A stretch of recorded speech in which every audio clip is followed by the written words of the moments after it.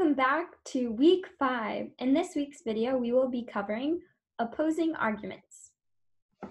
This week's lesson builds on topics covered in other video lessons, and we've covered a lot in the last four weeks.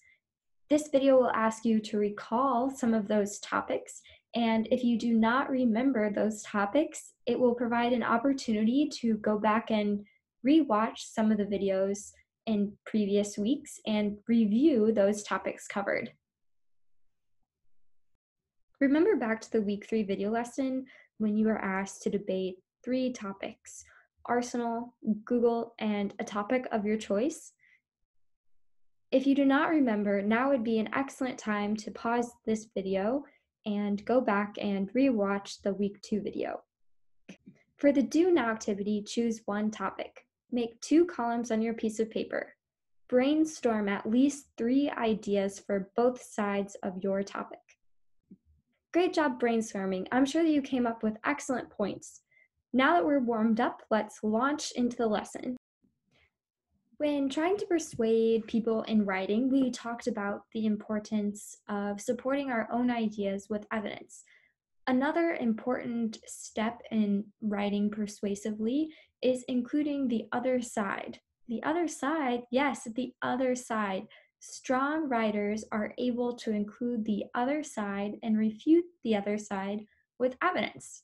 What if I can't defend the other side? If you can't defend the other side, then you might need to switch sides in the argument.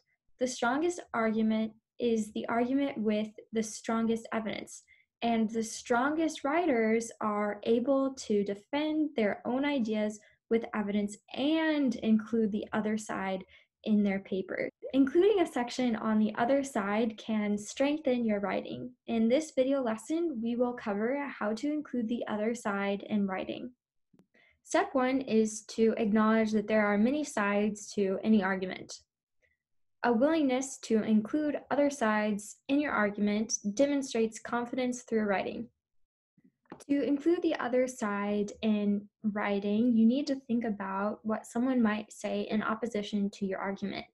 To do this, you might ask yourself, what would someone who disagreed with me say?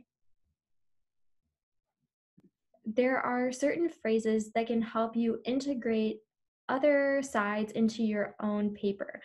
Other phrases such as a popular concern is, or it is true that, or some argue, or better yet, a specific author's name argues that once you've selected the claim that you want to defend against and smoothly integrated that claim into your own writing, the next step is to support that claim with evidence. It is important to support the claim with strong evidence just as you would support your own ideas with strong evidence an ability to defend against an opinion strongly supported by evidence demonstrates a strong ability to write persuasively. If you selected the claim that you want to defend against, smoothly integrated that claim into your own writing by using transitional phrases, and defended that idea with evidence, you've successfully integrated the other side into your own writing. You're ready for the final step.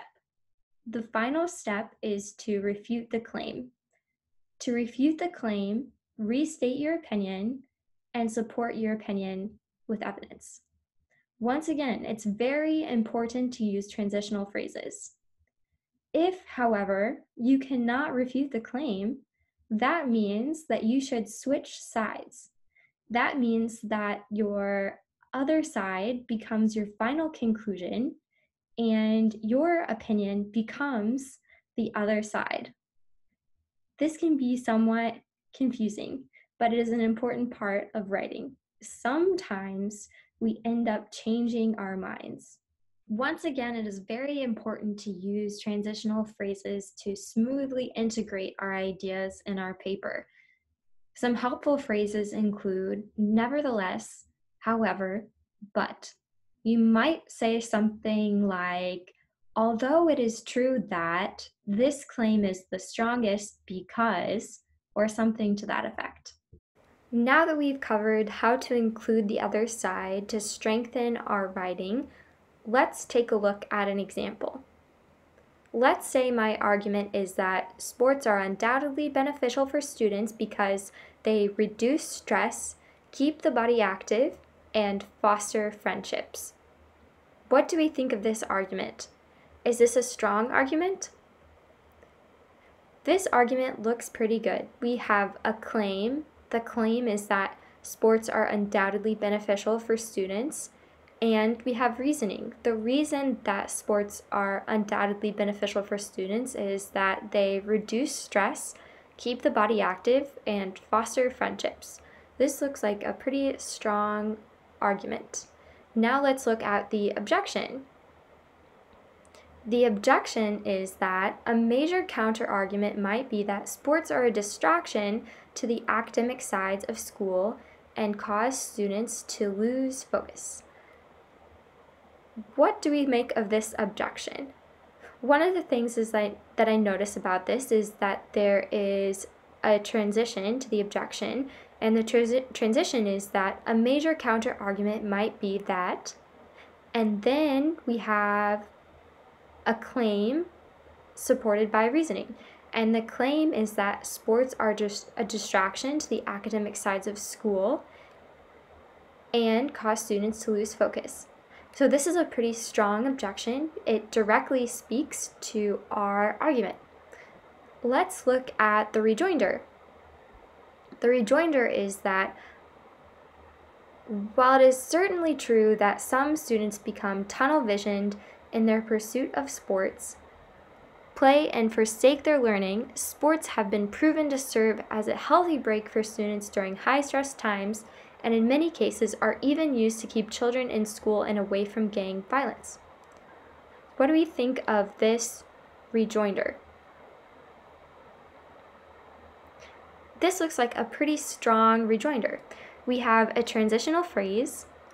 It says that while it is certainly true that some students become tunnel visioned in their pursuit of sports, play, and forsake their learning, sports have been proven to serve as a healthy break for students during high stress times. And we clearly have a claim, and that claim is supported by evidence. This is a pretty strong argument. Now that we've looked at an example of an argument with an objection and a rejoinder, it's your turn to practice. I would like you to choose one of the topics from the Do Now activity, either Arsenal or Google or your choice, and write a paragraph that includes an argument and an objection and a rejoinder. Great job completing this week's video lesson. In this week's video lesson, we covered how to incorporate the other side in our own writing. This skill will be an important skill for the upcoming competency exams. For this week's homework, please log on to the Google Classroom and complete the assignment for this week. If you have any questions about this topic or the homework, or would like more resources, please ask one of your teachers. We've provided one link to further reading in the description below. Great job! See you next week.